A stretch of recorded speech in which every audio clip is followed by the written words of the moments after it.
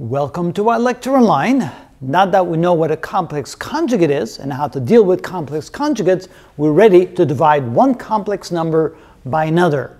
And the trick is that we're going to multiply the numerator and the denominator by the complex conjugate of the denominator. So it looks like it follows. So in the denominator we get 1 minus 5i, in the numerator we get 1 minus 5i. Notice that this fraction is equal to 1, and of course, multiplying anything times 1 changes nothing.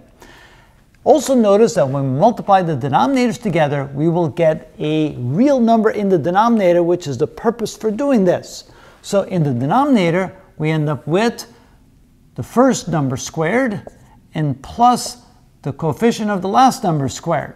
So notice we get a real number in the denominator. In the numerator, we're going to have to multiply the 4 times the 1 and the 4 times the negative 5i. So we get 4 minus 20i. And then we have to multiply the minus 3i times 1 and the minus 3i times the negative 15 and the negative 5i. So it begins minus 3i and minus times the minus is plus 15i squared. And now all we have to do is simplify both the numerator and the denominator. So this becomes 4 minus 23i. And notice i squared is a negative 1, so it becomes minus 15 divided by 1 plus 25, which is 26. And then we can combine the 4 and the minus 15. So this is equal to 4 minus 15, which is minus 11, minus 23i divided by 26.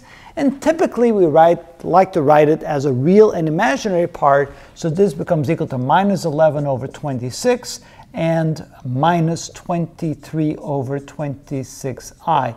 And notice that this, of course, is a complex number because we have a real part and an imaginary part. And that is how it's done.